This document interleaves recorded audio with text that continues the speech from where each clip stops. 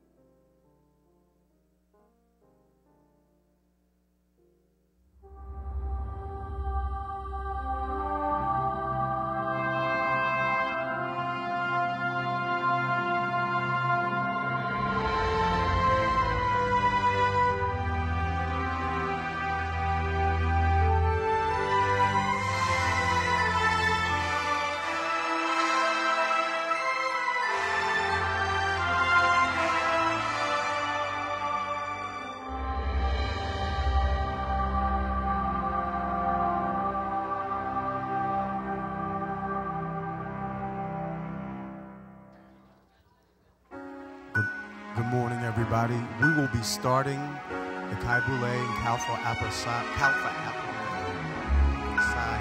dedication ceremonies in a few minutes, so we need to expedite the line that we might begin the program as scheduled at 12 noon. Why should I feel discouraged? Why should the shadows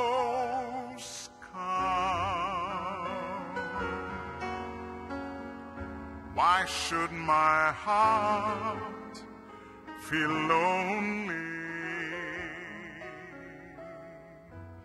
and long for heaven and home?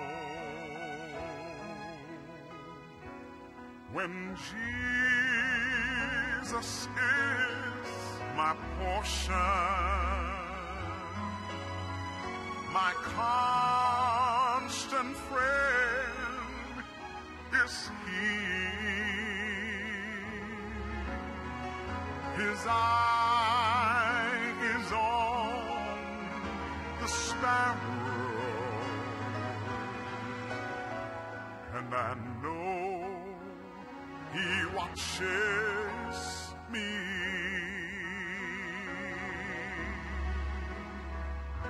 His eye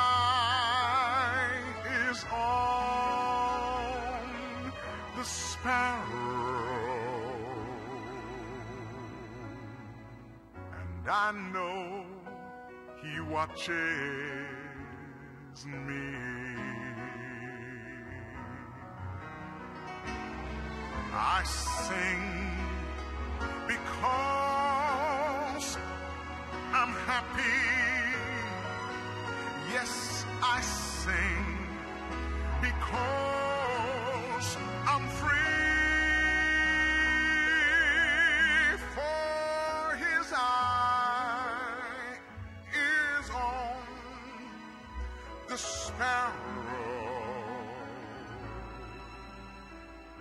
and I know he watches over me. His eye is on the sparrow,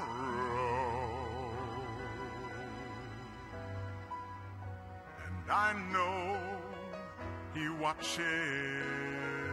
I know he's watching over me. I know he's watching over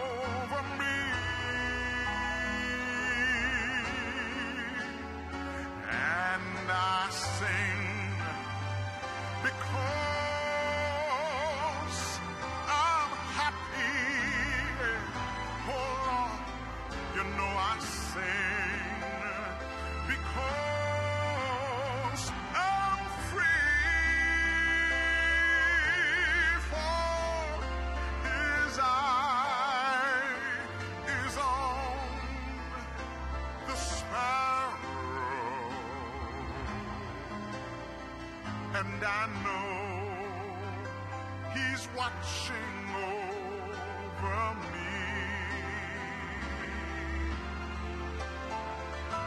His eye is on the sparrow.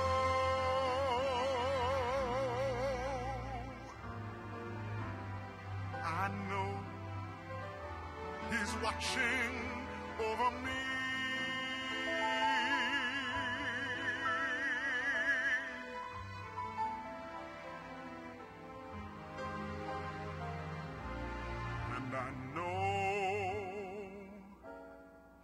Watching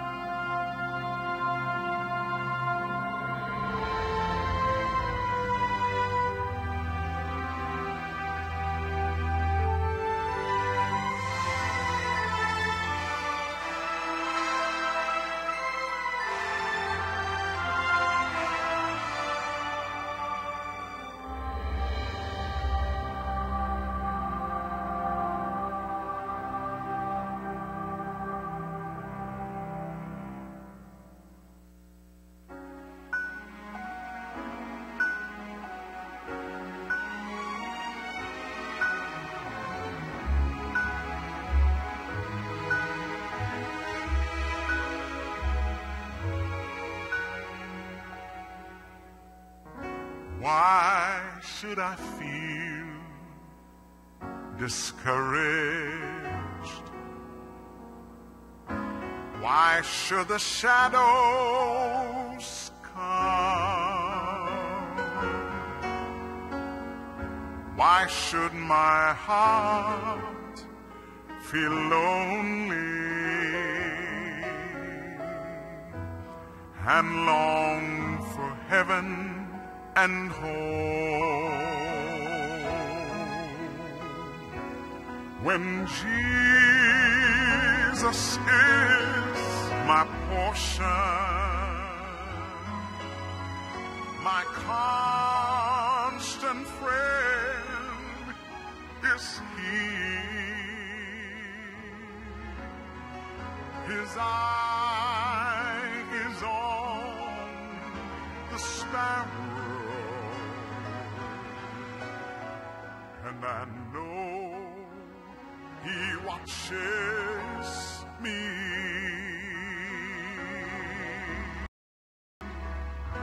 His eye is on the sparrow, and I know He watches me. I sing because I'm happy. Yes, I sing because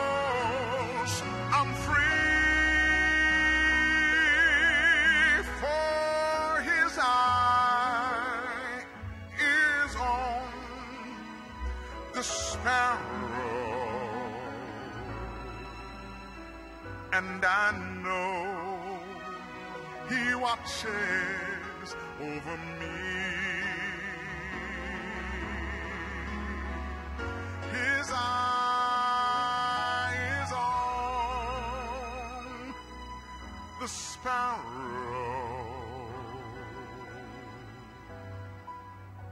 and I know He watches. Watching over me. I know He's watching over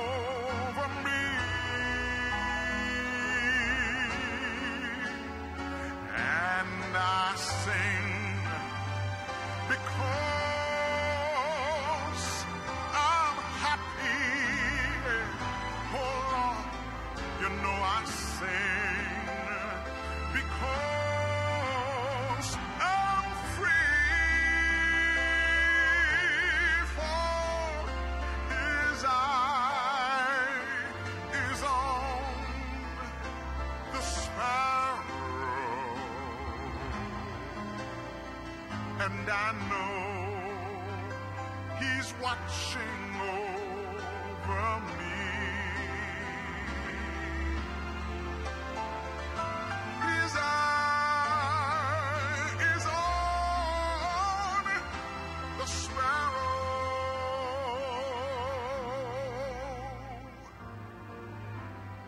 I know He's watching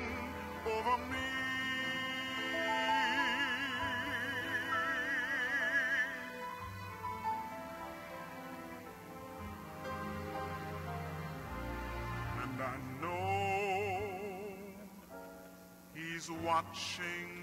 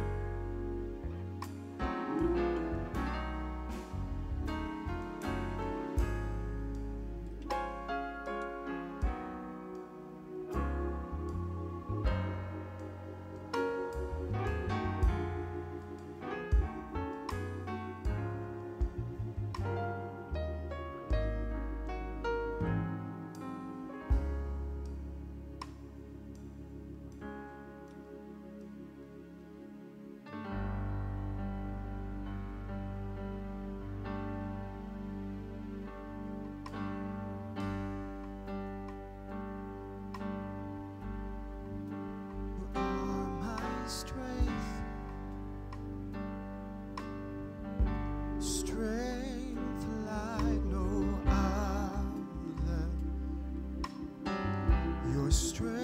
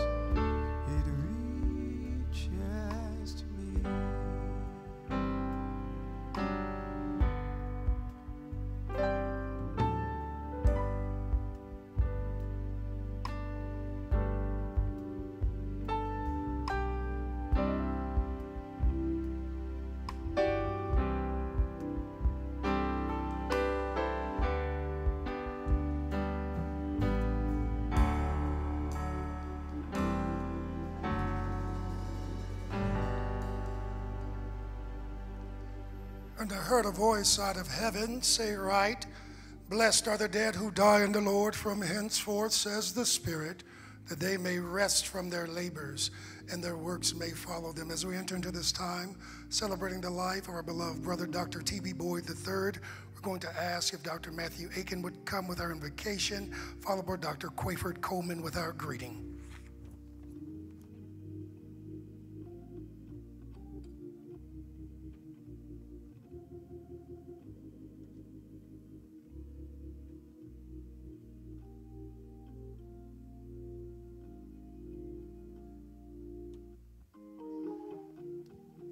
Shall we pray? God, our eternal Father, the God of heaven and earth, the creator and the maker of all things. We come right now bold but humble to the throne of grace. We come, our Father, with gratitude and thanksgiving in our hearts. Thanking you, our Father, first of all, for the gift of your Son, Jesus Christ, who gave his life for us that we might have a right to the tree of life. Lord, we come thanking you for this day, thanking you for this hour, thanking you for the life of this our dear brother. We come, our Father, but before we can ask you for anything today, we come confessing our sins and asking you to forgive us of our sins and blot out our transgressions and own us back as your children one more time. God, we ask you right now to have mercy upon us right now. We come, our Father, lifting up the Boyd family right now. We pray, our Father, that you would wipe tears from their eyes, that you would walk with them, dear Master, and let them know if they lean and depend upon you, that you will carry them, uh, uh, carry them all the way. Oh, dear Master, somebody needs you right now. We pray, our Father, that you would visit us right now. And remember the words that the psalmist said, I will lift up mine eyes unto the hill from whence cometh my help, and know that all of our help come from thee and thee alone. Lord, have mercy on us right now. Lord, help them to realize, our Father, that death is a part of life. And the only way that we can get a chance to see our Jesus Christ, that we have to leave planet Earth. And our only way out is through death. Death is not an enemy, but death is just a friend can cross us over to the other side. Lord, we pray for your preached word. There may be somebody here today that don't know you. We pray that they will be introduced to a man named Jesus, the Savior of the world. Jesus who came and died for our sins. Lord, we just want to say thank you today. We love you and we adore you. In the precious, powerful name of Jesus the Christ, we do pray. Amen.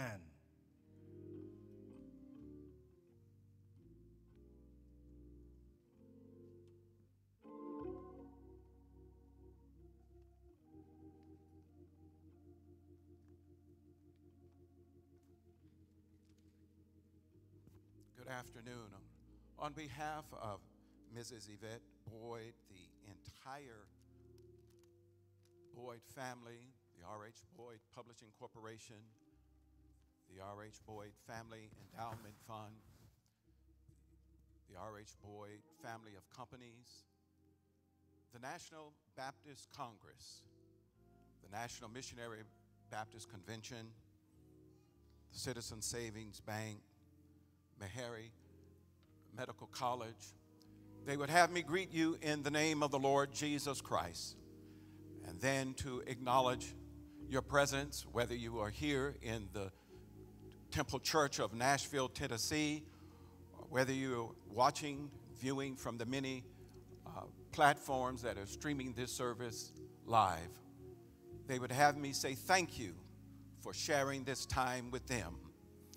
This time and our coming together is a source of strength for this family, and then it adds to the national tribute as we celebrate the life of the one and only Dr. T.B. Boyd III. Not only honoring him today as a husband, a father, grandfather, brother, uncle, friend, but honoring him today for an exceptional leader that he was. We thank and praise God for him.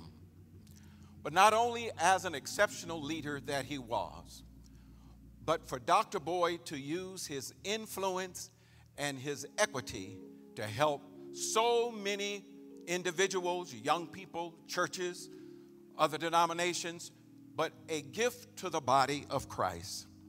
And so we say today, thank God for Dr. T.B. Boyd III. Thank you for sharing in this celebration. And then I think it's in order that we all rise to our feet and we celebrate the God who gave us Dr. T.B. Boyd III. Won't you stand and let's celebrate the life? Come on, let's celebrate his life. Not a patty cake, but a celebrate. Come on, come on. Come no, no, no, no, no, no. Come on, he lived by the motto if I can help somebody, then my living will not be in vain. Come on, come on, let's celebrate. Let's celebrate. And all of us can say with a keep celebrating. No, no, no. You keep celebrating. All of us can say with a resounding voice, Dr. T.B. Boyd III, you ride on with King Jesus no man cannot hinder thee. Come on, let's celebrate. Come on, let's celebrate.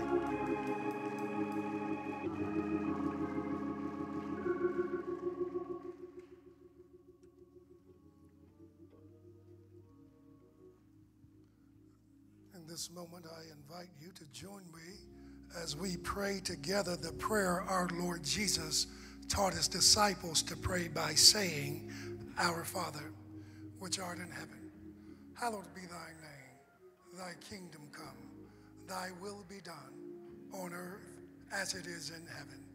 Give us this day our daily bread. And Forgive us our debts as we forgive our debtors.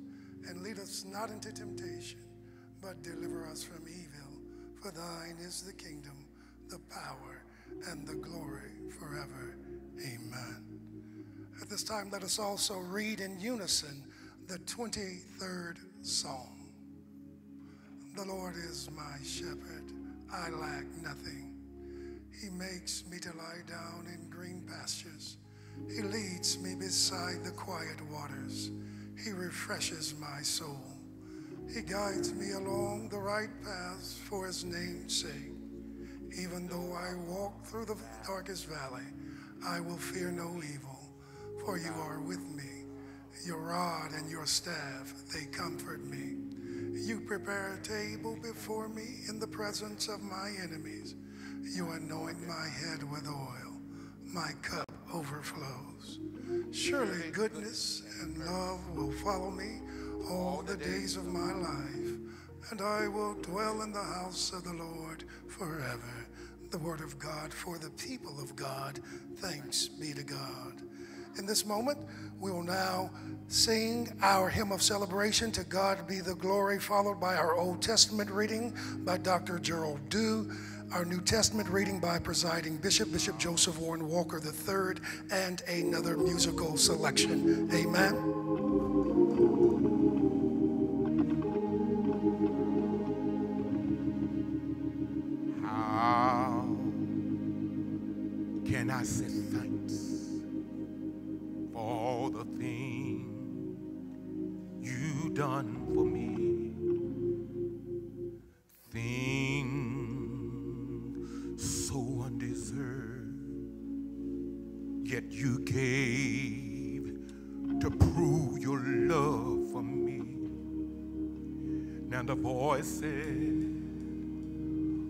million angels cannot express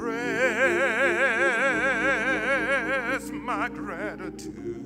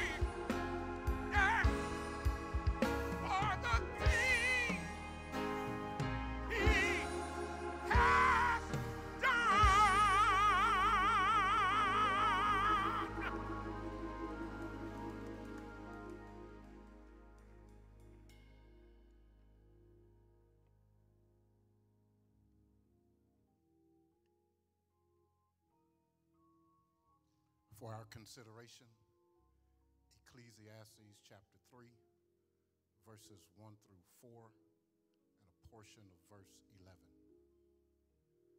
To everything there is a season and a time to every purpose under the heaven.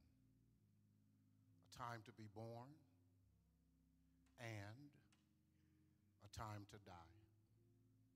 A time to plant and time to pluck up that which is planted, a time to kill, and a time to heal, a time to break down, and a time to build up, a time to weep, and a time to dance. He, God, hath made everything beautiful in its time. Thus ends the reading of God's holy word.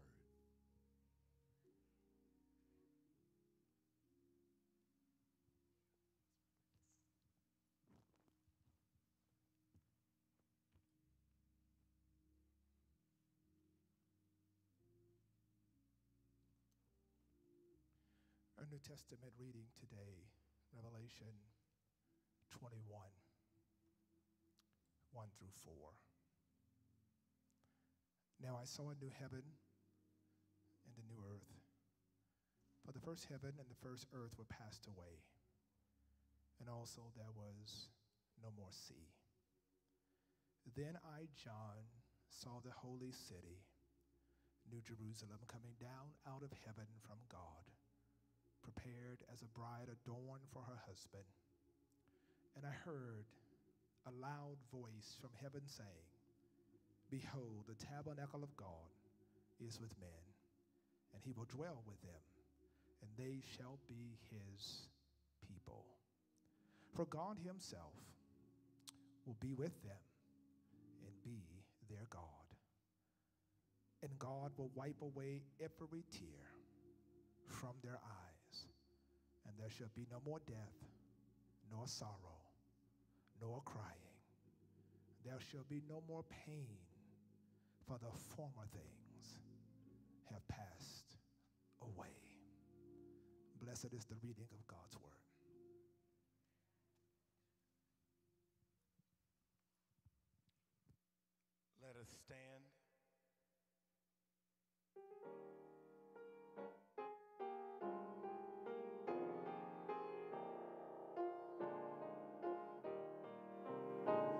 I walk in the pathway of duty, if I work to the close of the day, I shall see the great King and his beauty when I've gone the last mile of the way.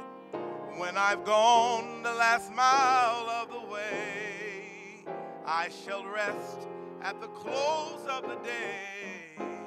And I know there is joy that awaits me when I've gone the last mile of the way.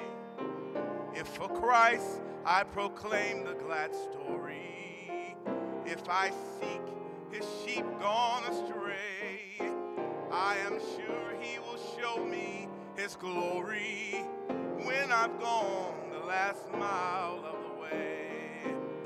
When I've gone the last mile of the way, I shall rest at the close of the day. For I know there is joy that awaits me when I've gone the last mile of the way.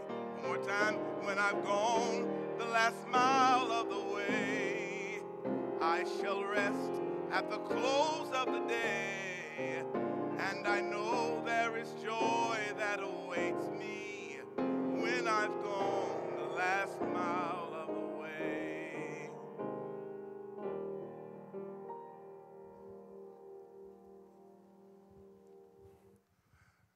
This time, the Reverend Olivia Cloud will come with the presentation of resolutions.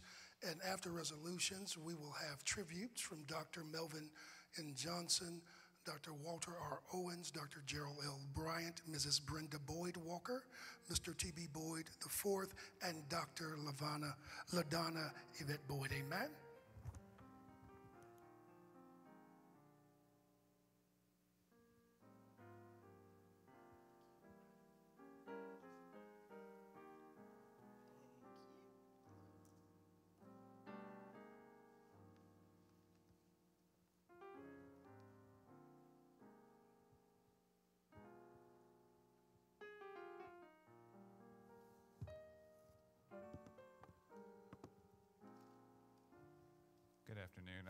Freddie O'Connell, and I'm here on behalf of the city. In addition to these resolutions, we did have a special announcement to make today that we've worked on with the family uh, and the Metro Council and my colleagues there. Um, it is my honor to announce today that we are proclaiming Sunday, May 15th, Dr. T.B. Boyd, the third day for the city of Nashville.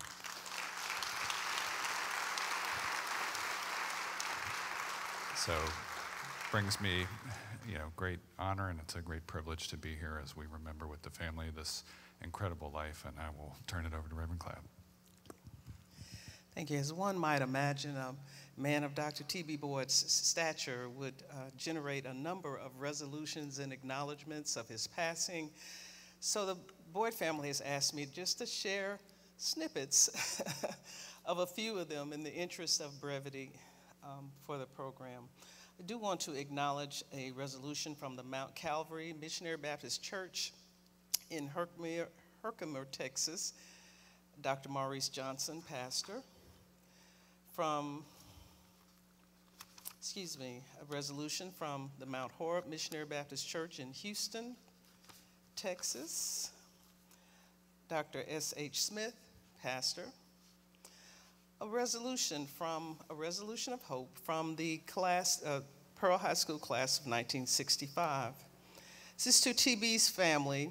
We, the Pearl High class of 1965, wish you Godspeed as you comfort each other as one was one entity, knowing that TB is now with the angels sitting at the feet of our Lord and Savior.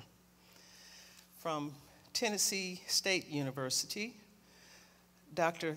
Whereas Dr. Theophilus Bartholomew Boyd III was a graduate of Tennessee State University and a proud member of Alpha Kappa Alpha Psi Fraternity Incorporated and Nashville's Chi Boule chapter, Sigma Pi Phi Fraternity, TB, as he was affectionately called, loved and served his alma mater with pride and was actively involved in the growth and development of his community whereas T, Dr. T.B. Boyd III was a pillar of the Nashville community and an icon among his family and friends. He leaves to cherish his memory, his wife, his children, among numerous other relatives and friends, fraternity brothers, and extended family at Tennessee State University, signed Dr. Glenda Glover. From the Nashville Alumni Chapter of Kappa Alpha Psi, says, whereas Brother, T, Brother Dr. T.B. Boyd was a member of Nashville Alumni Chapter of Kappa Alpha Psi. Therefore, as brothers of Tennessee, excuse me, Nashville, Tennessee Alumni Chapter, chartered April 24, 1926, we do now bow before God in humble submission to his divine will and commit to be available to encourage, support, and pray for Brother Boyd's immediate family so long as God sees fit from Meharry Medical College, where Dr. Boyd served as vice chair of the board of directors. It reads, whereas Dr. T.B. Boyd worked with diligence and vigor to champion the goals of the Meharry Medical College throughout the community and the country, and whereas in special recognition of 37 years of distinguished service to Meharry Medical College, the Board of Trustees acknowledged Dr. T.B. Boyd III by appointing him trustee emeritus. Therefore, be it resolved that we as a community will mourn with the family and continue the great work of Dr. T.B. Boyd. Signed, Nelson L. Adams III, MD, 78, Chairman, Board of Trustees, Meharry Medical College. A letter of resolution from, for, from Mount Zion Baptist Church in Nashville, Bishop Joseph Warren Walker, Say to the Boyd family, today we are honored to celebrate Dr. Boyd's life with you as he was a pillar of Nashville and throughout the country. From the St. John Baptist Church in, I'm sorry, I'm getting my days. Oh, in Southlake, Texas, Dr. Denny Davis, pastor, sends a resolution in loving memory of Dr. Theophilus Bartholomew Boyd III from the New Mount Zion Baptist Church of Dallas, Texas, Dr. T.L. Brown, pastor, who is also a board member at R.H. Boyd, says, Whereas our Heavenly Father gave to us for a while a champion in the person of Dr. Boyd, he was a man of excellence, an innovative leader, and a community partner who was committed to his faith and to his family. From the Progressive National Baptist Convention, whereas Dr. Theophilus Bartholomew Boyd lived a life in such godly service and freely gave of his time and energy to serve others. He was known for his business acumen, leadership, honesty, strength, conviction, and his ability to get things done. Respectfully submitted, the members and officers of the Progressive National Baptist Convention, Reverend David R. Peoples, President, Dr. A. Wayne Johnson, General Secretary.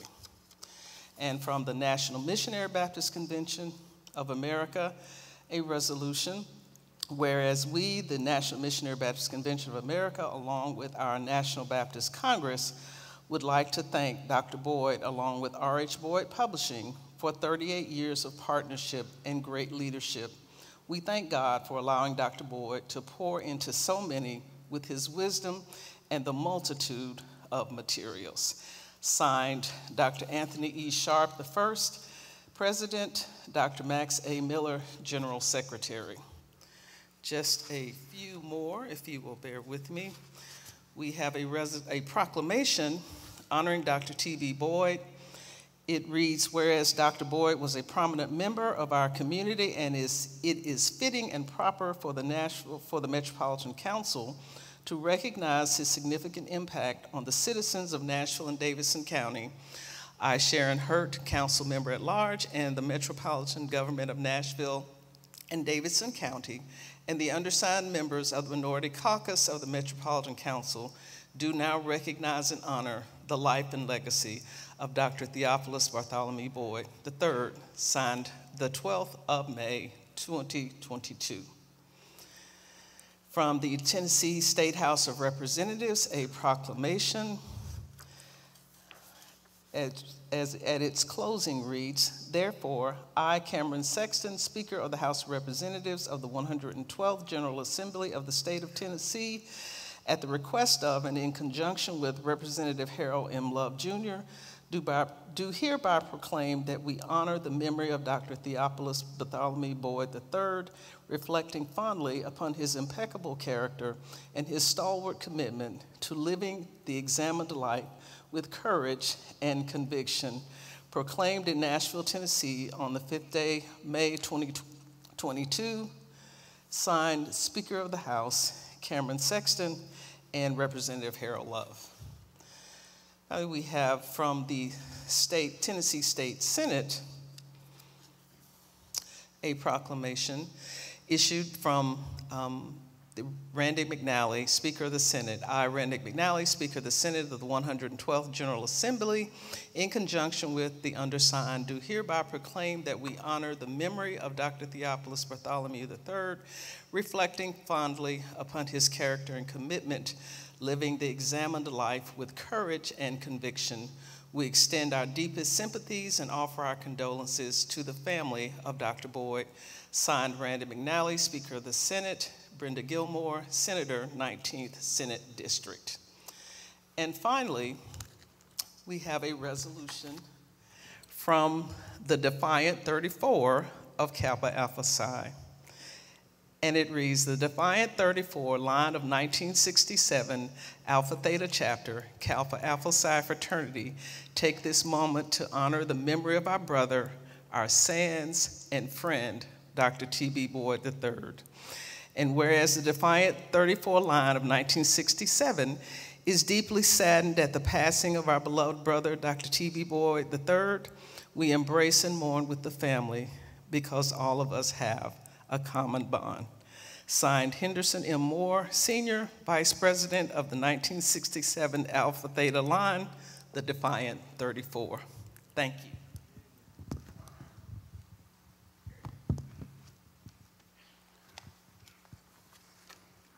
Amen. If Dr. Johnson would come and begin our series of tributes.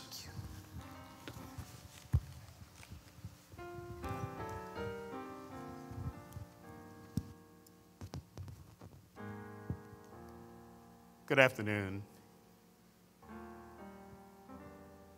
You know, when I was asked to give a tribute to my friend, Dr.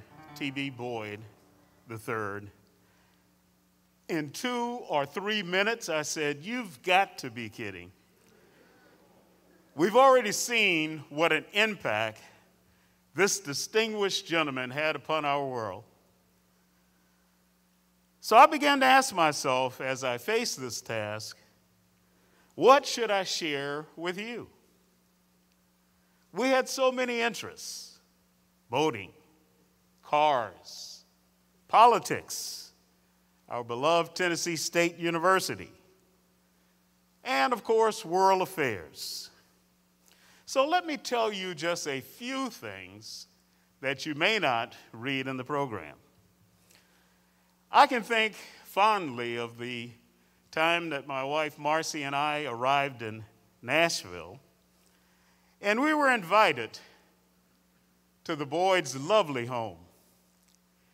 And as we began to enjoy each other's company, he invited me outside in the rear of the home.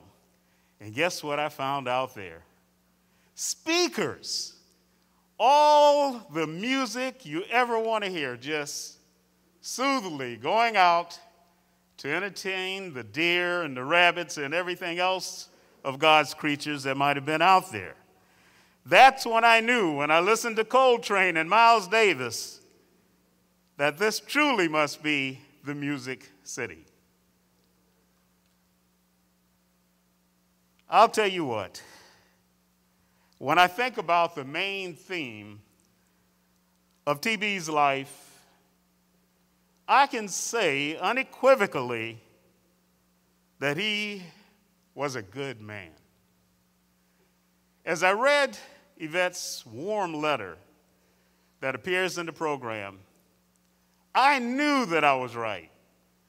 Because anytime your wife can say those wonderful things about you and indicate that she wanted to continue on with that legacy, I knew that this was a good man. How? He loved his God, and he was a true believer.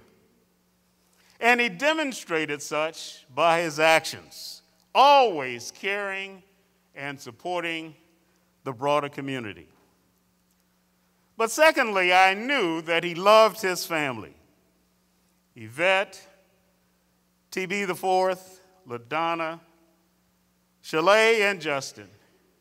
You were always first in his heart. And he set such a great example, but I knew that you were the joys of his life. Now, I know you're going to miss him, but rest assured, he's in a much better place, obtaining the rest that he so well deserved. The next thing that I know is that TB loved his university. He lived, he ate, he, he, he bled Tennessee State University. But the main thing is, he was always there to support student services and activities and scholarships. He believed that our youth was our future. And he always, I could count on him to be there. I could count on him not only to support the student activities, but to congratulate the students, encourage them, provide internships for them. He was a good man. Now, Rudyard Kipling said it best if you can talk with crowds and keep your virtue, or walk with kings, nor lose the common touch, that was T.B. Boyd. He carried himself in that way. Now, we're going to miss you, my friend, but your legacy remains. The foundations that you've created and supported will prosper. Generations of our people to succeed in life. May you rest in eternal peace because our Father in heaven knows without a doubt that you are a good man.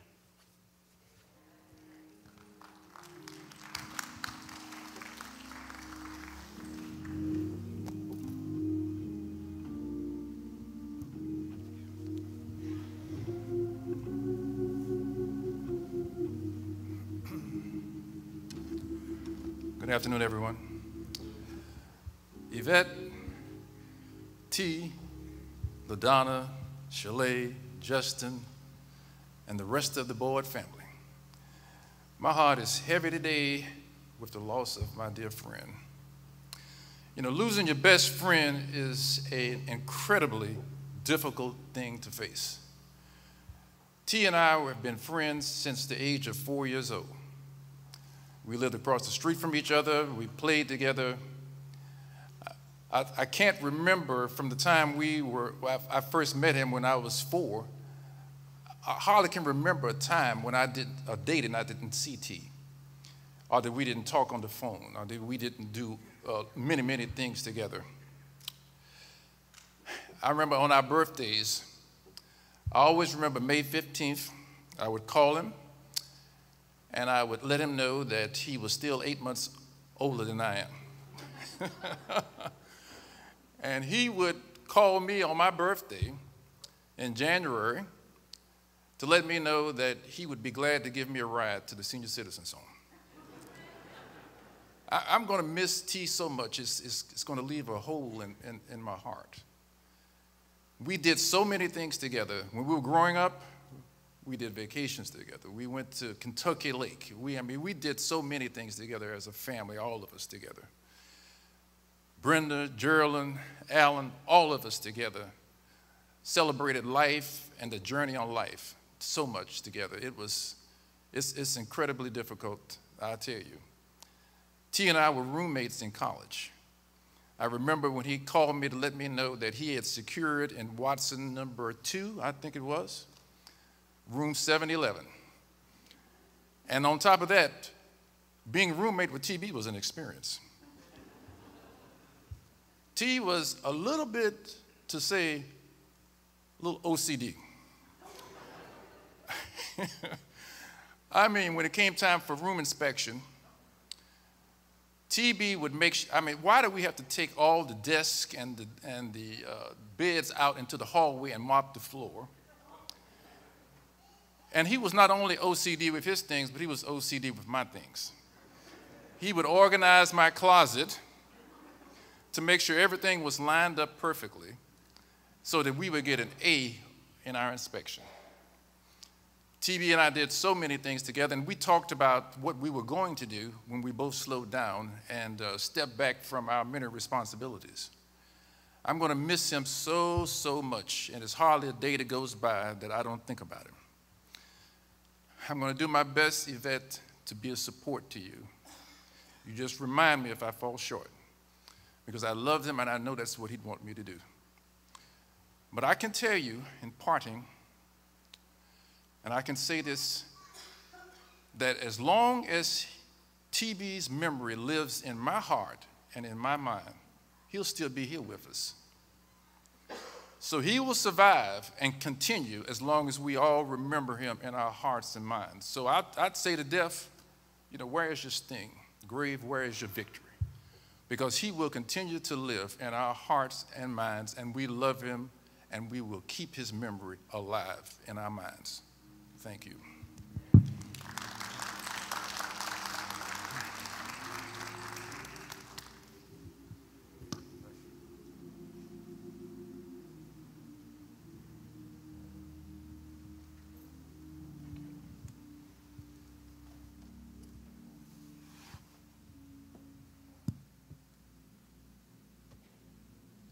Yvette, the Boyd family, you have our deepest condolences from my wife, Romelia, and me. In the, earliest, in the early 20th century, renowned scholar and civil rights activist Dr. W.E.B. Du Bois wrote about the talented 10th, the African American leadership who, through education, would make a profound, profound difference in the lives of African Americans. His overarching theme to whom much is given, much is expected. To me, Dr. Theophilus Bartholomew Boyd III was the epitome of this axiom. He used his professional training and knowledge of resources and business skills to influence others to empower themselves to become high achievers. I first met TB 54 years ago when he pledged Kappa Alpha Psi at Tennessee State University. He impressed me with his even temperament, never too low or never too excited. He was a rock solid young man who I could tell his parents put a lot of love and training into his growth and development. When his sister came to state, he asked me to help him watch out for her well being. He was always about taking care of family and friends. I found these characteristics to be a strong indicator of a future leader. I was one of TB's and Yvette's first house guests in their current home. One morning, I heard a loud noise in the backyard. When I went to see what it was, I found TB in the backyard fixing a broken sprinkler line. His work ethic kicked in, and he did the job that had to be done at the time and place. I thought he could have called a gardener, but T was the type to meet a task head on and see it to its end. The next day, he went on a run. After running five miles, he said, Let's take a ride. He drove down to the donut shop for a few donuts. I asked him, How do you run five miles and then stop at the donut shop? T responded, You put in the hard work up front so that you can savor the enjoyable things in life. And then he gave me that TB smile. When he was the president of 100 Black Men of Middle Tennessee, I was the president of 100 Black Men of Sacramento, California. We would see each other at various conferences. We always discussed how to use our platforms as Kappa men and presidents of 100 Black Men to better the educational and economic opportunities for aspiring leaders. Because of his insight, planning skills, and encouragement, I went back to Sacramento, and with three other Kappa men and 100 black men members, we started the Northern California African American Young Male Conference, which 33 years later is still in full effect. I will always be indebted to TB for his encouragement and vision. TB was a man among men because he was always looking to improve environments and lives. I once said that if I had a son, I would want him to have the style, skills, and courage of Brother T.B. God saw fit to call Dr. T.B. Boyd III home to glory, but he made sure T.B. left an indelible imprint on all that he interacted with and loved him. Rest easy on the golden shores, good brother and friend for a life well lived in the service to others. You have earned your rightful place on the scrolls of the talented 10th. Thank you.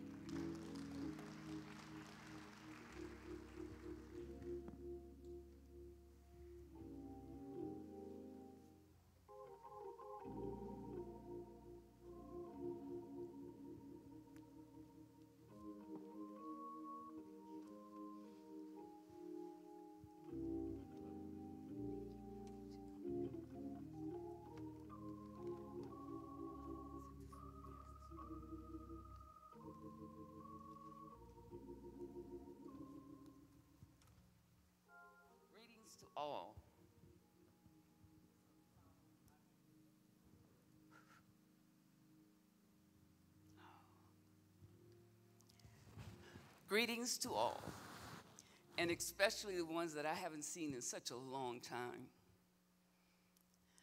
My name is Brenda Boyd Walker, the middle sibling to my oldest brother, we call TB. Our parents, T.B. Boyd Jr. and Mabel Landrum Boyd, had four children T.B. Boyd III, Geraldine, Brenda, and William Allen. We all are part of the six generations of the Boyds, and we are collectively appreciative, excited, and encouraged to have four additional generations that now follow us and continue the family legacy. which is to be the best version of themselves. Of course, I always thought both of my brothers, as they are, was tall, dark, handsome, and intelligent.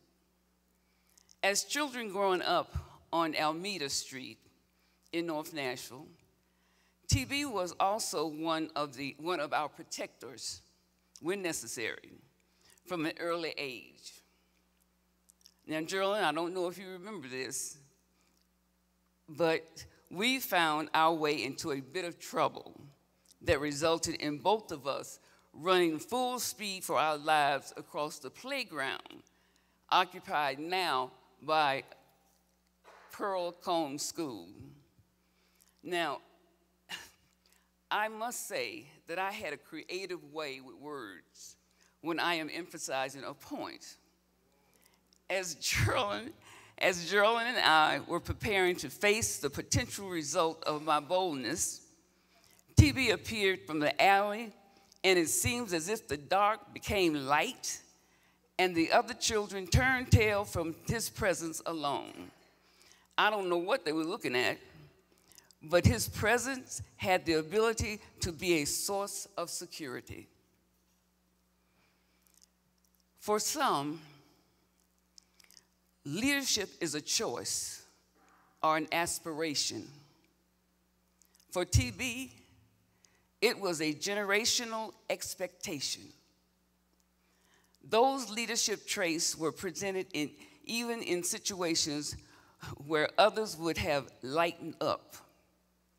His leadership skills had been on display since he was a child. In, an early display of his skills, he caught the measles and then ensured all of his siblings collaborated around him during this process. And we all caught the measles. This, accident, this accidental, sophisticated level of protection continued during our matriculation at Tennessee State University.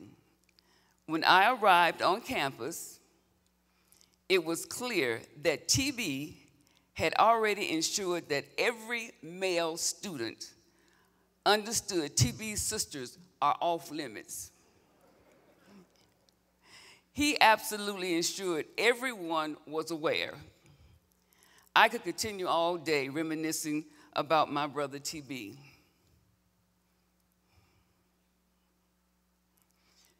But without a doubt, no, I will love him forever. It is hard to believe on May 3rd, 2022, that the Lord called our oldest brother home.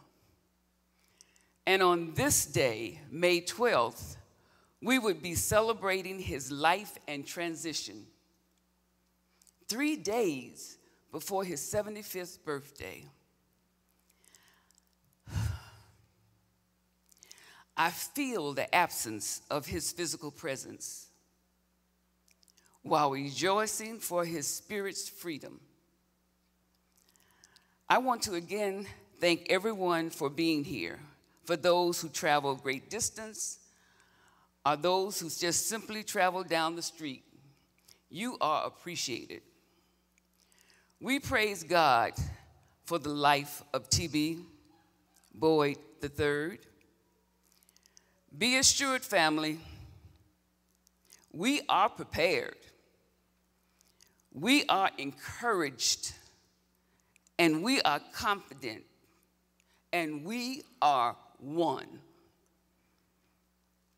The Boyd family will continue to provide communities across the globe with opt optimism, kindness, and the belief that anything is possible.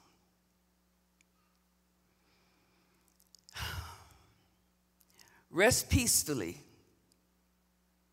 T.B. Boyd III. Rest peacefully, my big brother. And rest peacefully, the child of God. Thank you.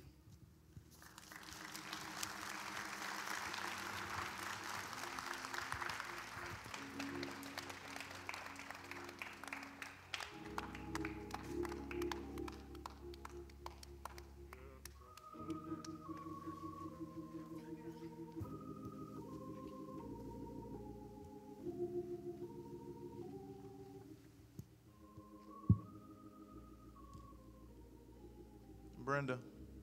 And now I got to go after that. Good afternoon. Thank you, Pastor Drumright, the Temple Church family, for allowing us the opportunity to celebrate the life of my father, T.B. Boyd III. And thank all of you for sharing this with us today. I would just like to say a few words. I was thinking over the past week how privileged I have been over the years to have known uh, Theophilus Bartholomew Boyd III, AKA my father, and thinking about the many times that we had and spent together. And then I continued to think about the times that I had to spend with T.B. Boyd Jr. And then also continued to think how I had the opportunity to spend time with T.B. Boyd Sr. as well. So, realizing that, I immediately came to the conclusion that I have been truly blessed and have been truly honored to have known every Theophilus Bartholomew Boyd that has ever lived up to this moment. Including, thank you so much, and including Theophilus Bartholomew Boyd V, which is seated right there. he just turned 15. Watch out now. Y'all don't want none of this. He also, he's also my bodyguard as well as my son. and I was thinking about the similarities of these individuals. And one thing that there was a common thread. And that common thread was the desire and commitment to forge and build. I'm not speaking only with regards to business, not in publishing, not in banking, but in regards to the family, to the family unit, to advancing and supporting and loving each other. And one of the things that I would ask in that same spirit, and I was to ask each one of you sometime today, tomorrow, to call a family, friend, loved one, and let them know how much they mean to you. Let them know how they've touched your life. For time is short and tomorrow is not promised. The one caveat that I have is that you call them or meet face to face, preferably. No IMs, no text, no email, no face chat, no snapbook, no Insta, but call them and speak to them so they know how much you mean to them and they feel your sincerity because you know the human voice speaks to the heart. My father's favorite movie was The Wizard of Oz. And at the end of that movie, the characters receive their rewards from the wizard for their arduous journey. The Tin Man received a heart. I remember the wizard saying to the Tin Man, the heart is not judged by not only how much you love, but how much you are loved by others. Show your love for others and reach out to them. In closing, I am reminded with what my mother, Dr. Melody Boyd, would always say and continues to say Son, God loves you, and so do I.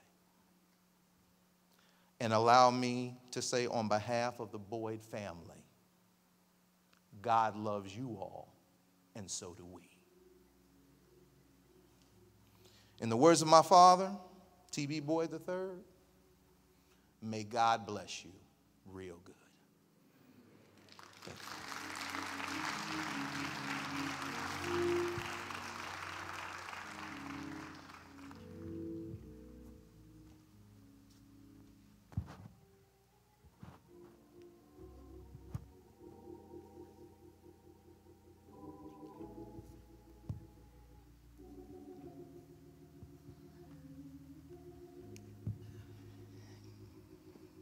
Good afternoon. The last words that I ever heard my father say to me were, I love you. And there's nothing that compares to that father daughter bond. I've always held my father's hand as a child, as an adult, and as he was transitioning from one life to the next. There are no words that can express this deep sadness and love that simultaneously fill this time and space. But we all know that death is not an ending, it's merely a segue into the next life. So I know that my Father is alive and well, and He's looking down at all of us right now. My father lived a tremendously full life. He was such an adventurer, if you will. As you've heard from his other family and friends, he loved to go boating and traveling and just doing all these fun and exciting things. And so I'm glad that I inherited some of that from him. His life was full. It, he had lots of family, friends, success, adventure, and community. And through the pain and grief, we are fortunate to have so many wonderful memories. My father lived a life that is truly an example of excellence, and for that we are thankful and we are blessed.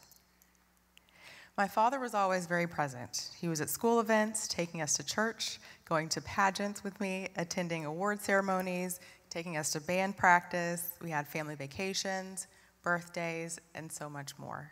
So that is something that I will truly miss. And to my mom, thank you for nurturing us and for loving my father. You both created a life and a legacy. And today, on your birthday, I'm sorry that you have to bury your best friend, but we still honor and celebrate you today.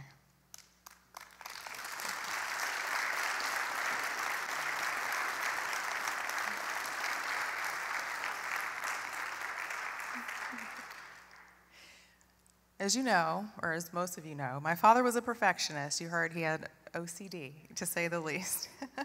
he paid great attention to detail, and he always took great pride in his efforts and his abilities. I can hear him right now, and I've, I've kind of heard him all throughout this week saying, Now, LaDonna, make sure it's right. Make sure to do it right. So I hope that in this time and in this space and in this moment that, Dad, we've made you proud. It's a very surreal moment the air feels different, time feels different, and my senses experience the world in a different manner, and it's a combination of chaos and calm. My father and I often shared many quiet moments, basking in the stillness away from the demands of the world. We would go for car rides and literally just have silence. um, we enjoyed the stillness, we enjoyed the peace, and we enjoyed each other's presence, and I can still feel his presence in those quiet moments. The opportunity for stillness is a gift. As my father was transitioning, the last thing that he heard me say were, I love you, and we prayed over him, and I whispered to him my favorite scripture. The scripture is Exodus 14 14, and it says, The Lord will fight for you, you need only to be still. In some translations, it says, Ye shall hold your peace. In this passage, the Israelites were fleeing Pharaoh, and they asked Moses, Why did you bring us here to die? But Moses told them not to be afraid and to be still, and that God will always make a way. God told Moses to stretch out his staff, and the Red Sea was parted, and the Israelites crossed onto dry ground. And the key to being able to do that was stillness and calm and trusting in the Lord. My father often tried to create those dry ground experiences for other people to cross. He instilled the importance of building and leaving a legacy, and his faith was a vital part of his life. He always wanted to make the path a little bit clearer for someone else behind him. When my grandfather passed away, my father was quoted as saying, It is a day of peace, a day of tranquility, a day of progress and a day of recommitment to the very principles our forefathers laid down before us. Although the mantle has fallen on my shoulders, I will not let it hit the ground. It is now my turn to send off final words to my father. My father often said, To God be the glory. Though this is not a happy time, it is a joyous time. There is joy and peace in knowing that heaven awaits the righteous. My father has joined the realm of angels, and we have gained an ancestor. He dedicated his life to leading others to Christ, and now he's able to sit at Christ's feet. He was a dedicated and faithful servant, and now he has received his reward in heaven. He is at peace, and though we see the stillness of death, he is experiencing the fullness of God. We now carry on his legacy, and for that, to God be the glory. Thank you.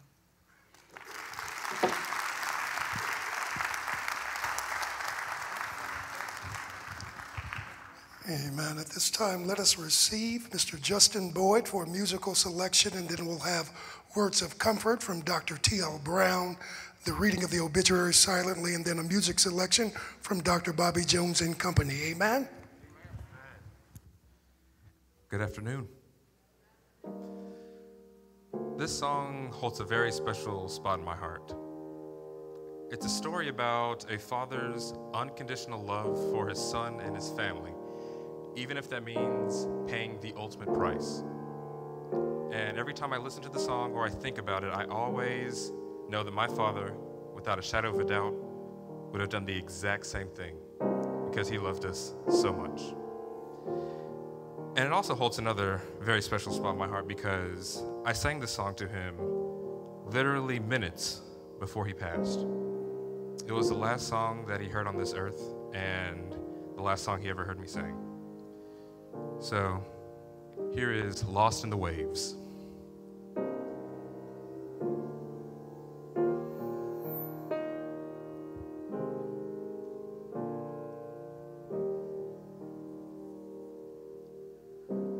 At the edge of the Atlantic, can't bring myself to swim.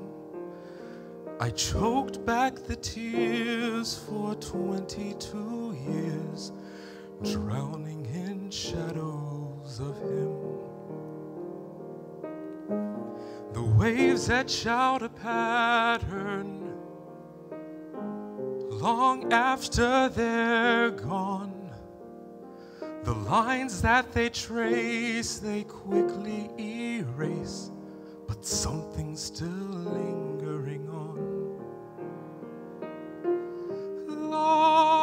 Lost in the waves, I am lost in the waves. No one but me and the silent black sea. I am lost in the waves. A vision in the moonlight, a family on the beach, a boy on his own by the undertow throne, far beyond his father's reach. He's caught in the riptide. A man has to choose. There's a race to be won for the life of his son, but someone has to lose. Lost in the waves, he was lost in the waves. Salt water burns, the tide always turns when you're lost in the waves. Now I'm the one sinking. There's no solid ground, and I can't help thinking one who has drowned, now knee deep in the water. I feel my father's touch, and though fully grown, I've still never known how to love someone that much. Lost in the waves.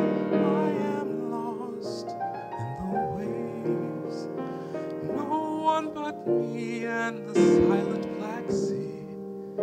I am lost in the waves.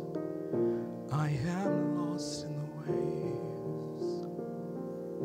I am lost in the To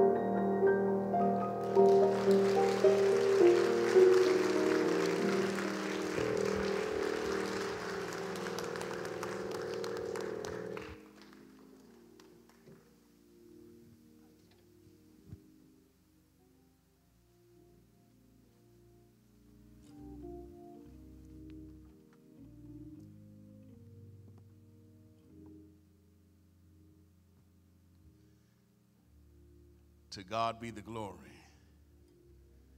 If I were in the National Baptist Congress, sitting on the stage, I could hear Dr. Boyd saying, To God be the glory. He, God be the glory. He would go on to say, We have a blessing here today. To God be the glory. Even in this circumstance, we have a blessing here today. To God be the glory. Can we just put our hands together and celebrate this family as we honor this day? When I received the call from LaDonna to share words of comfort, I said to her, I said, Now, LaDonna, I'm a preacher. I know your dad.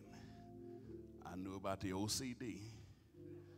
I knew about how he loves to do things decently and in order. He was a perfectionist. I said, so that I can be in order, tell me exactly what your definition of words of comfort are. She said, we will have a eulogies. I said, good, good, good. She said, just a few remarks. I said, thank you, I will be in order. When I think about Dr. Boyd, when I thought about his passing, immediately my wife said, honey, I'm taking off. We have to be there because he was such a great man. When I thought about attending our first National Baptist Congress in 1986, and I, and every time I think about the National Congress back then, I would think about the March for Jesus parade. I said to my wife, I, sh- I should have put my white suit on and get my board member. I just feel like I should have a, a white suit on and my board member pen being on, I just think about him marching with Dr. Sam Smith and others in that March for Jesus parade. I just still see him leading with the pom poms in his hand, the music playing, entering into the halls or either into the ballrooms and leading the way. Hail the National Baptist Congress. You know, I still, just those memories will be there forever. And the Lord allowed me to have personal moments with Dr. Boyd when he would come to Dallas. Uh, sometimes Dr. C.C. Robinson or Dr. Nehemiah Davis said, Dr. Boyd is coming and we need you to pick him up. I said, oh, Lord, let me get my Mercedes Benz out, get it to the detail shop, get it cleaned up. And on one occasion, when I picked him up and got him back to the airport, he, he left his sunglasses uh, in the car, and I didn't know it until uh, he had left. And I got back to the car. I said, Oh, Lord. And, and I was afraid to touch him at first. I, I, got home and I said to my wife, I said, Dr. Boyd left his sunglasses. I said, I really want to put them on, but I'm not. I said, I want to see what it looks like from the eyes of a visionary like that. Uh, but, but I never put them on, but I did make sure I got them back to him uh, because I just wanted him to have them. We had the opportunity to honor him, the New Mount Zion Church. We have a gala uh, in December each year, and we had the mayor of the city to come out and others. And it just so happened we were honoring him that night. Dick Gregory was in town for another event. And he heard who we were honoring. He said, I'm going. And he was kind enough to come over and give remarks that night. Uh, I just shall forever remember and thank God for the life of Dr. T.B. Boyd III. And I was thinking how we were at lunch one day and I had picked him up. Matter of fact, it was breakfast. And he noticed my watch. For those who know, he loved watches too, collecting watches. Well, I didn't have a Rolex on, mine was just a Bulgarian, but he, he noticed right off it was a distinct watch. And he, you know, and, and I think it was some moments like that. He just kept watching little things about Dr. Brown, as my wife would tell you, I, I'm somewhat of a perfectionist. I like it done right. I like it in order. Uh, and I just shall never f- forget the memories of Dr. T.B. Boyd III. And so when Donna asked me to give a few remarks here today, I said, Lord, what can I just share just to comfort that family briefly with a few words? And, and I thought about uh, Dr. Boyd in Pearl High School. Now, I learned this in the car on the way over here today that he played the trumpet in high school. And he also played the trumpet at Tennessee State University. I said, That's Dr. Boyd playing the trumpet, being instrumental in everything that he does. And as I, as I thought about that, I began to just reminisce over the short time that I had with him when he placed me on the board of directors for the R.H. Boyd Corporation. Uh, I went back and found that picture of my very first meeting of March the 25th of 2015. I found that picture where he pinned my badge on me as a board member of the board of directors. And I said how humbling it was just to sit in meetings up that close to watch him. I had the privilege of him as we came into one board meeting. He was sitting in his chair facing the wall. Dr. Alex, and we, we knew something was going on. And he said to us about half of that meeting, I, I, I need to make a decision. And the Lord has helped me make it. I need to bring LaDonna onto this board. And immediately we all agreed. He had tears in his eyes just thinking about that moment. We welcomed her uh, into the board that day, and, uh, and even as he continued to transition, his health declined, and we were preparing for LaDonna's first meeting. I said to Dr. Groves before our morning breakfast, we need to have prayer for LaDonna before we ever even go out because she's going to need God's covering his blessings.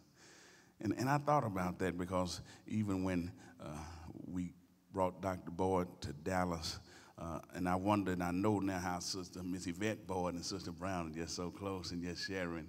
Uh, but I tell her, honey, now we don't have Dr. Boyd's money. Now we can't. You you going and buying this jewelry, buying these clothes. We can't. She said, honey, but she's my friend. I said, okay, but let's let's keep it on the Brown level over here. but, but but what a joy to have similar to have similar interests. And, and I thought about that because that's a quote by Pauline Phillips, LaDonna, that says, if you want your children to keep their feet on the ground, put responsibility on their shoulders. And I think your father, being a visionary, said before he even left here, he wanted to put some responsibility on your shoulders to help keep your feet on the ground. And with him playing the trumpet, and it was confirmed today as I take my seat when I heard about the music playing to the animals, knowing how he loved music. I had to get my son a few years ago to teach me how to download music onto my iPod at that time. You know, we download music now, but back in the day before we had Wi Fi and could download music in the country back in Texas, we had hi fi stereos. Big wooden stereo. I hear heard amen. Somebody know what I'm talking about. On those hi fi stereos, they would play 45s, 33s, and 78s. And on that 45, it had a side A and a side B.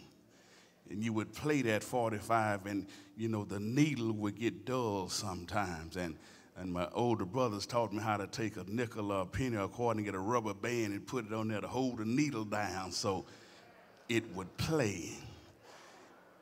And when side A would finish playing, if you didn't have an automatic system that would flip it over, come on, somebody, you, you, you would have to physically pick up the needle, flip over the record from side A to side B to hear the other side.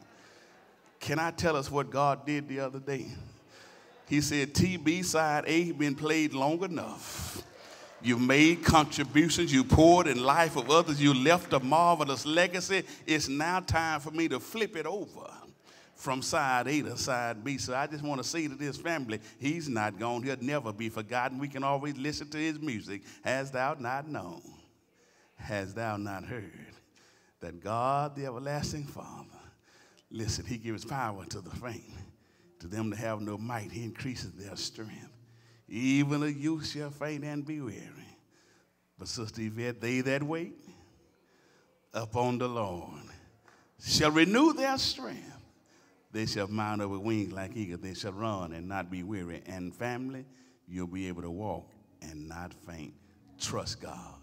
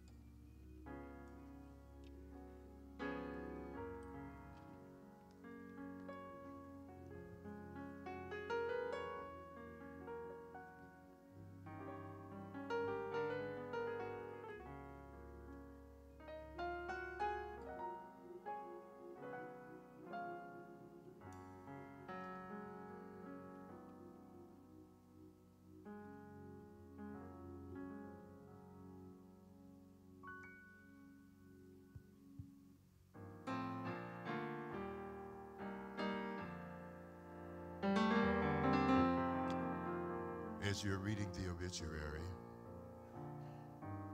to the family, friends, those of us that have gathered here today for the homegoing of my friend. Most of you that know my works, and Mr. Boyd and I were great friends. He was the first one to support my ministry early in the 80s. He knew I couldn't sing, but he thought I could do something.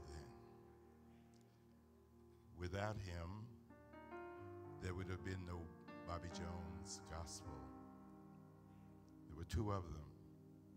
Mr. Boyd and Richard Manson were the ones that helped me to leap in this ministry as we did just a few ideas of what he did for me.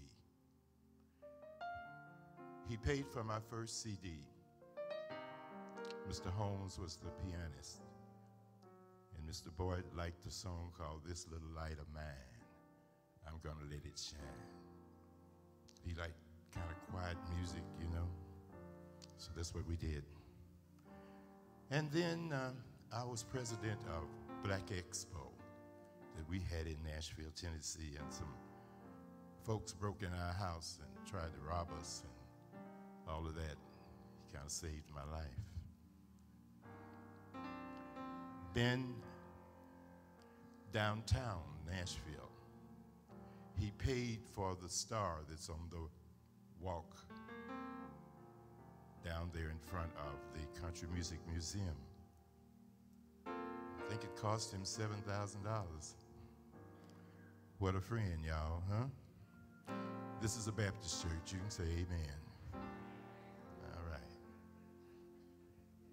For all the wonderful things that he did in my life, and LaDonna and Yvette, everybody, I love you all so much. Today is a sad day for me. But this song says, someday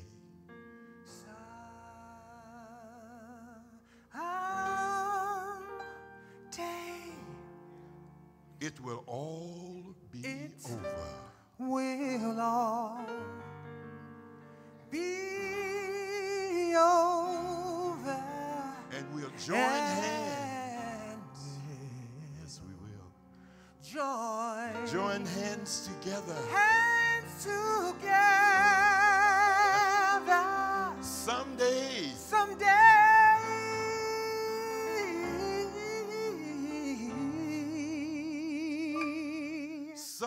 Someday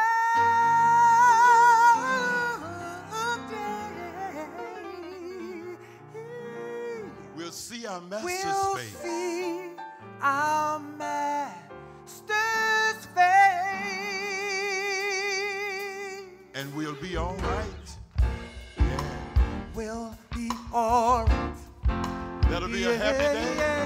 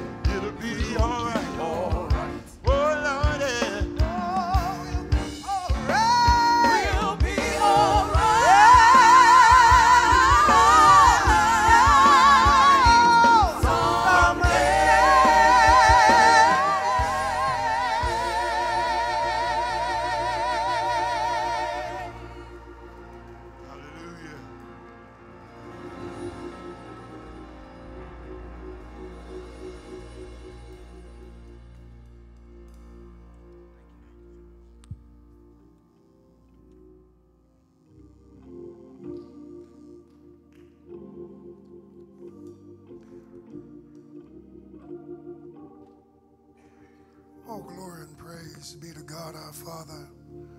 We thank God for revealing himself unto us in Jesus Christ. We thank God for the power and the presence of the Holy Ghost. To all the ministers of the gospel, to Miss Yvette, to this entire beloved and bereaved family. We thank God for the life. We thank God for the witness even in this moment, we can say, Thank God for the rest for Dr. T.B. Boyd III. As I listened to Dr. Brown, I thought about even this congregation's connection to the Boyd family, that our late pastor, our founder, Bishop Michael Lee Graves, was employed as director of publications at R.H. Boyd.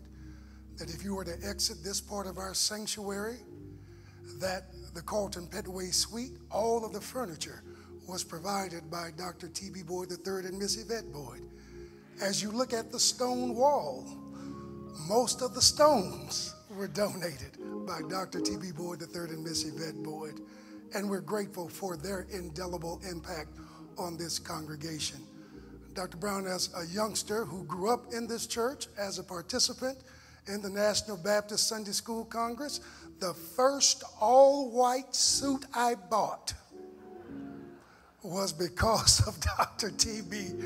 Boyd III. And I used to love to see the great parade as we sang, All Hail the Baptist Congress. Amen, amen, amen. It, uh, uh, on this moment, if you would, go with me to one verse of Scripture. 1 Samuel chapter 20, verse 18. And I thank God for Dr. LaDonna because she said quite a bit of what I had already penned. Amen. The word of the Lord reads Then Jonathan said to David, Tomorrow is the new moon feast. You will be missed because your seat will be empty. Tomorrow is the new moon feast. You will be missed because your seat will be empty. I want to talk just for a few moments as we celebrate Dr. Boyd's life from the thought a seat of significance. A seat of significance. That this one verse reflects the sentiment of Jonathan to David because the reality is there's a little issue between Saul and David. An issue to such a magnitude that a plan has been designed that will force David to be absent from the physical seat at the table that he held when the new moon feast was celebrated. And Jonathan, he tells David, he speaks from his heart, and he says, Here is the true reality. You're going to be missed because your seat will be empty. And he was talking literally about a physical seat that David was going to sit in. But there was something more important. That seat just wasn't a literal seat, it represented the place of significance that David played in the life of Jonathan. And, saints, I believe God gives us permission to use a little spiritual license. We can say, in the words of and then the spirit of Jonathan as we speak to the essence of Dr. Boyd. Dr. Boyd, there are many tomorrow festivals that will come, and you will be missed because your seat will be empty. I believe that there are places in the home the family can tell you about that he sat in, places in his office, places on boards, that literal seats that belong to Dr. T.B. Boyd III. But not only are we talking about literal seats, we're using seats today as the power of legacy. The power of legacy that we leave behind and the places in the hearts of others that we hold. And so, saints of God, when we think about Dr. Boyd's life, we need to remember the seats of significance that he leaves for us to set for others. First place, I want to leave with you that Dr. Boyd has left the significant seat of lineage. One of the things that I, recall hearing him talk about was in 1979 when the weight of leading the family and leading the family business fell upon his shoulders. And he talked about the importance of representing your family name well. Dr. Boyd represented his family name well. Not only did he represent his family name well, because he had the significant seat of lineage, he also made God's first institution his priority.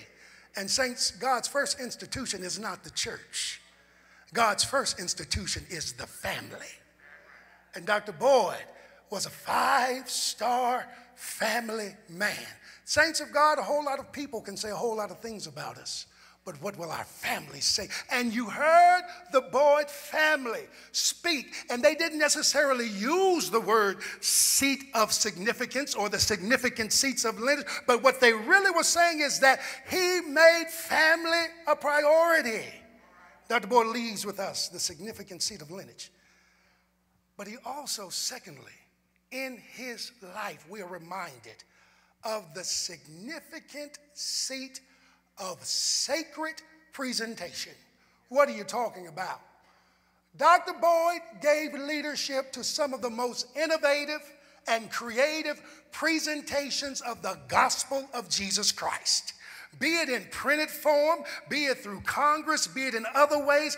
He shared the gospel of Jesus Christ with those all over the world. And God calls for all of us who believe in Jesus Christ to also set the sacred seat of sacred presentation. What does that mean? You ought to lift Jesus up however God has enabled you to do it. Whatever God has anointed you to do be like Dr. Boyd and learn how to offer a sacred presentation of the gospel of Jesus Christ. Their Bibles, their books, and all of us know about the red hymn book. Y'all know about the red, because uh, you have to make a distinction between the green hymn book and the red hymn book. Somebody knows what I'm talking about. But it was sacred presentation and the hymn writer put it like this If you really want to embody the significant seat that Dr. Boyd leaves behind, embody it this way lift him up by living as a Christian ought. Let the world and you, the Savior, see. Then men and women will gladly follow him who once taught, I'll draw all men unto me. He reminds us of the sacred seat of lineage, the sacred seat uh, sacred presentation, but also the significant seat of success and achievement. I won't go through the laundry list because you read it in the obituary. Those things like receiving a trumpet award, who's who, Thurgood Marshall Award, the, the many others. But here's what I believe that reflects Dr. Boyd had a spirit of excellence, and his mantra was do it well or not at all do it well or not at all. And maybe you will not ascend to publication heights. Maybe your assignment is teaching some young person, do it well or not at all. Maybe your assignment may even be cleaning up a cafeteria, cling to the glory of God. Have a Dr. T.B. Boyd III spirit that whatever you do, you do it as unto the Lord a significant seat of success and achievement. But then also, in Dr. Boyd's life, he reminds us of the significant seat of investment and opportunity. What do you mean? There are many masses all over the world, many preachers. I can testify for myself. The first national preaching platform I ever got was through the National Baptist Sunday School Congress. They're preachers, men and women, who got to teach because of Dr. Boyd. I think about the fact, and it's so critical, even in the times in which we live, there were young people in this church that I knew of and other churches in this city. The only reason they got to travel from Nashville to Orlando, from Nashville to Detroit, from Nashville to LA was because Dr. Boyd provided opportunities through the Sunday School Congress. And if ever there was a time our young people of this present generation need to be exposed to the best of who we are, it's right now. And Dr. Boyd set that precedent. Not only did Dr. Boyd do it, we saw it even with Miss Yvette as we were taught etiquette. We were taught how to speak properly. We were taught how to dress properly. Somebody knows what I'm talking about. We were taught appropriate church fashion. Amen. Because they understood, even collectively, the significant seat of invested opportunity and exposure. When God elevates you, don't forget to reach back. When God promotes you, don't forget to open up the door for somebody else. We saw in Dr. Boyd one who used his accesses on every level to open up windows and doors for others. Saints of God, it is a selfish and self centered Christian that can only do for them and theirs. But if we're going to operate in the Spirit of Christ and follow even in the significant seats of Dr. T.B. Boyd III, we've got to commit ourselves to be givers of opportunity and openings of doors for other people because as we do it, what we are doing is impacting generations to come. Dr. Boyd leaves with us also as we look at his life the significant seat of balance. I'm glad that Dr. LaDonna talked about that. He was a traveler, he was a serious person, very serious business, but, but Dr. Boyd had a good sense of humor too. He explored the world. God save us from folks who think that being a Christian means you have to live a humdrum life. God has called us to live a balanced life. Sometimes serious, sometimes laughing, sometimes traveling. And in fact, all you got to do is read Ecclesiastes 3 because it says, To everything there is a time and a purpose under the heavens. And one of the things we know is that Dr. Boyd lived in that balance. He enjoyed his life. He exposed family to the great things. He exposed others to the great things of life because when you live for Jesus Christ, God will give you opportunities to bear witness that God can take you from here to there, and to God be the glory for the things that God has done. And I thank God that both Dr. Boyd and Miss Yvette made it a principle in their life to pour into the lives of others. Miss Yvette, I, I share this. Dr. LaDonna, I don't know. Uh, after I was initiated into Kappa Alpha Psi, there are some in our fraternity out of my proximity of relationship that I might call dad so and so and dad such and such. And so one day, your dad asked me, Well, why is it that you don't call me Dad Boyd? I said, Well, Dr. Boyd, you probably more like a cool uncle. and so while I was in graduate school, no lie, once a month, there came an envelope from the National Baptist Publishing Board with a letter because Dr. Boyd had very memorable handwriting. It would say, We are proud of you.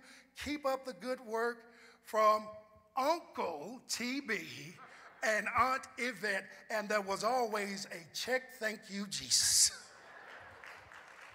because there was investment into the well being of others. We're living in some mean spirited times, saints of God. And the children of God are called to operate in a Dr. T.B. Boyd III spirit.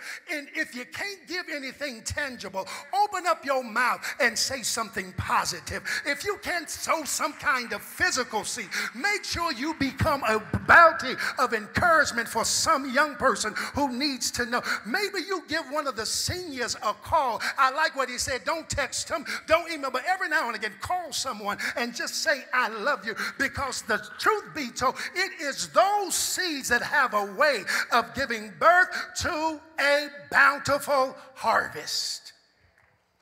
Last thing we'll leave you today.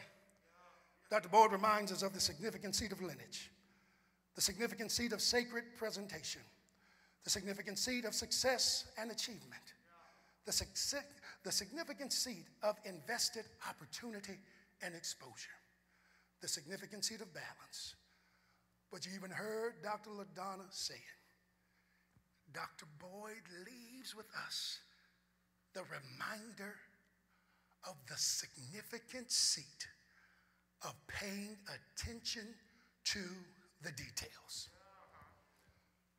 If you ever sat in a meeting with Dr. Boyd, Dr. Boyd didn't like things to last forever.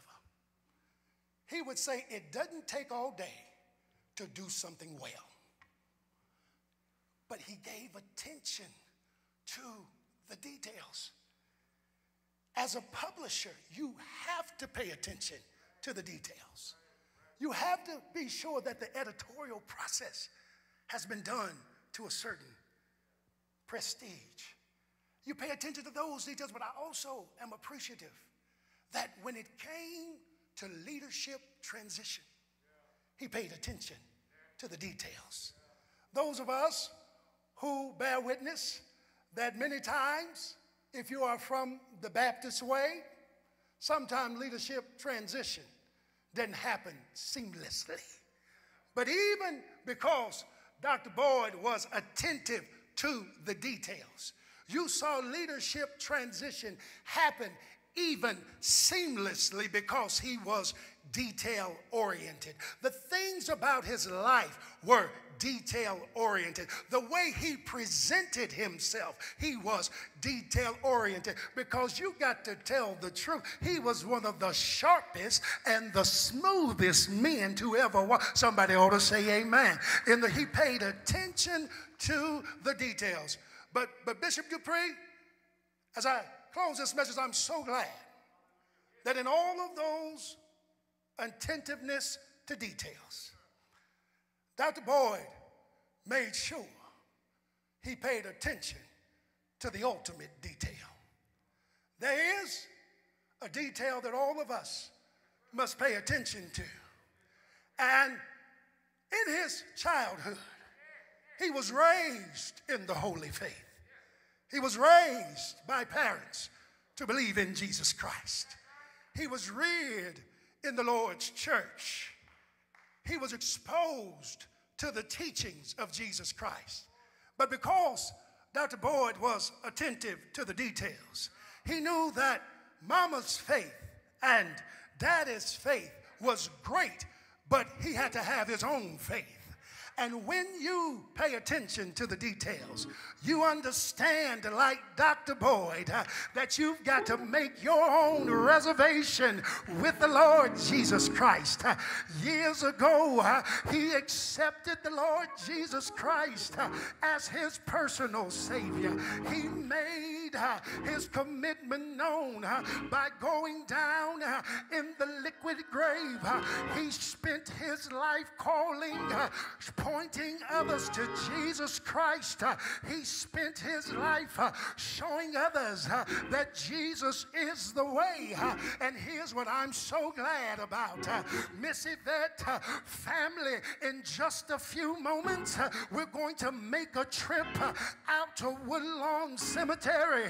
we will commit Dr. Boyd's body back to the earth ashes to ashes, uh, earth to earth, uh, and dust to dust. Uh, but because he was into the details, uh, this is where our hope lies. Uh, it says, in sure uh, and certain hope of resurrection to Jesus Christ our Lord. What am I saying, presiding bishop? Here's what I'm really saying. See you later, Dr. Boyd. Rest from your labors, but there will come a time time when we will see you again. I hear the Bible say, Behold, I show you a mystery. We shall not all sleep, but we shall all be changed in a moment, in the twinkling of an eye. At the last trump, the dead in Christ shall rise first. See you later, Dr. Boyd. I don't know how it works up there, but maybe you'll be the chairperson of heaven's printing. Uh, I don't know how it works up there, but God will use you uh, to point others uh, in areas of business. Uh, but here's what I do know uh, that when we all uh, get to heaven, what a day of rejoicing that will be when we all see Jesus, we'll sing and shout the victory. Rest. Rest, but there will come a day the Lord is going to crack the sky. He that shall come said he will come and he will not tarry long. Miss Yvette, children and family, hold on because God will keep you in the midst of the storm. Watch ye, therefore, you know not the day when the Lord shall call your soul away. But if ye labor, striving for the right, ye shall wear a golden crown. Soon as my feet strike Zion, I'm going to lay down my heavy burden. I'm going to put on my robe in glory. Shout and tell the story. Come over hills and mountains up to the crystal fountain. See you later, Dr. Boyd. Rest. But after a while, there is a great reunion. And we'll see Dr. Boyd again. But oh, I want to see Jesus. Oh, I want to see him. Just to look upon his face. There to sing forever of his saving grace on the streets of glory. Let me lift my voice. Dr. Boyd cares all past. Home at last. Ever to rejoice.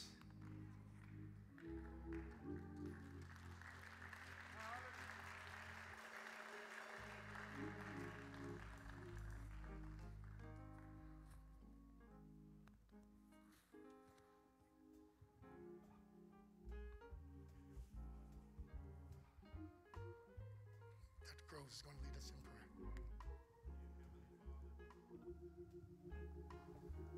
come today.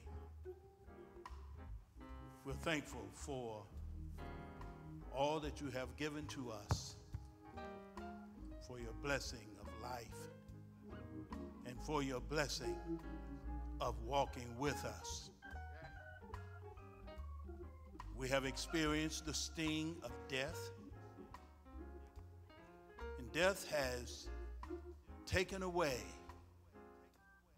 our loved one in the person of Dr. T.B. Boyd III. Yet, we grieve not as those who have no hope,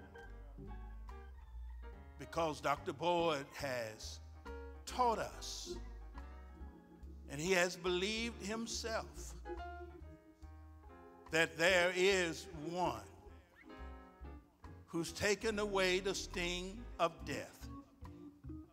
And there is one who has risen from the grave. So we celebrate his life and all of the things that he has left for us to remember. We thank you, God, for the love he has for his family. We thank you for the love he shared with friends. We thank you for the love that and determination that he led this company with. We thank you, oh God, for the example that he provided to all of us. Now, as we leave this place, celebrating his great life, help us to remember his legacy, the things that he taught us,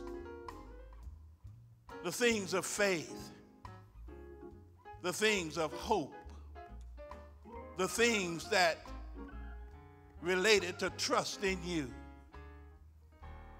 And when we have left this place and the crowds have gone home, we pray that you will continue to be with his family and walk with them every step of the way.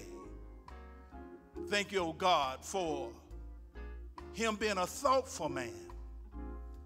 that he put into progress, continuity and continuation of his company before he left here. Help that we might follow his example, that we might give hope, that we might hold to your unchanging hand in terms of promise, and that we might live the victorious life because he lives within us.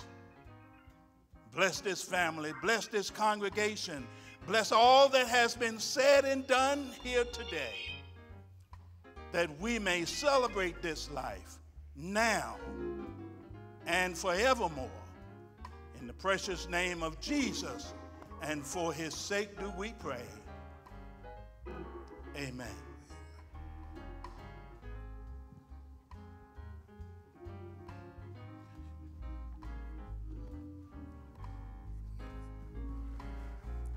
We're prepared now to make the journey to Woodlawn Cemetery for interment. The Lord bless you and keep you. The Lord make his face to shine upon you and be gracious unto you. The Lord lift up the light of his countenance upon you and give you peace. And may the blessings of Almighty God, fully revealed in Jesus Christ, be yours this day and always. God bless.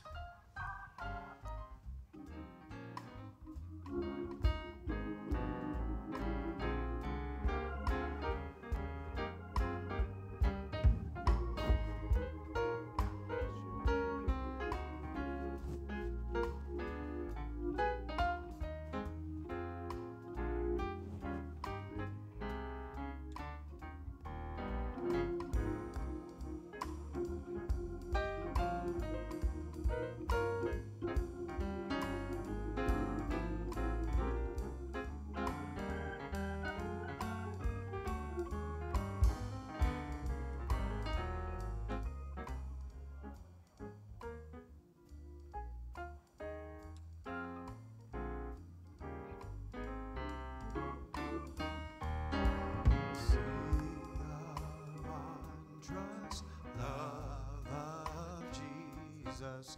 Sing his mercy